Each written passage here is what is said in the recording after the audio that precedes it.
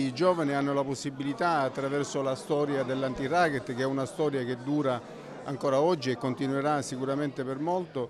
di capire effettivamente quanto è possibile fare nella nostra terra per migliorarla, perché si può fare, nel senso che se effettivamente all'epoca non fosse stato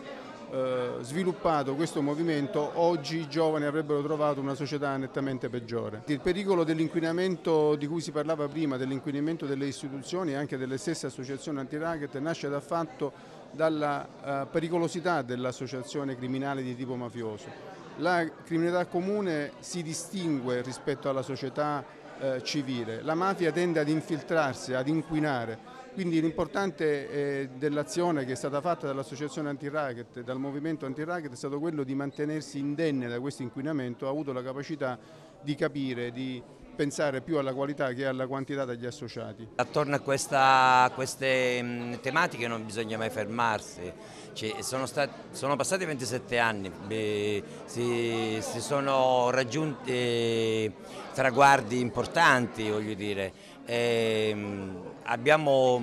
come diceva Tano, scritto una bella pagina di storia moderna, però Ancora c'è tanto da fare perché è una storia lunga, credo, non, nessuno si può, può, pensare di dire che, eh,